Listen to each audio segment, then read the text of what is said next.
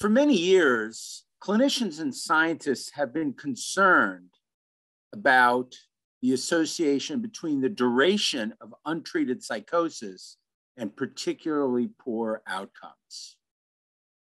On the one hand, there's reasonable evidence to suggest that it might actually be quite harmful for patients to have prolonged periods of time with psychosis that is untreated.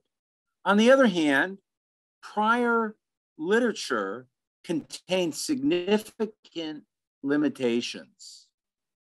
O'Keeffe and colleagues report important new data that address some of these limitations. And controlling for these limitations, O'Keeffe and colleagues nevertheless still find that the duration of untreated psychosis is concerning from a prognostic standpoint. In light of these new data, clinicians and scientists alike need to think about devoting more effort to identifying psychosis when it first begins and to providing treatment as rapidly as possible so we can address the possible problems that arise from a prolonged duration of untreated psychosis.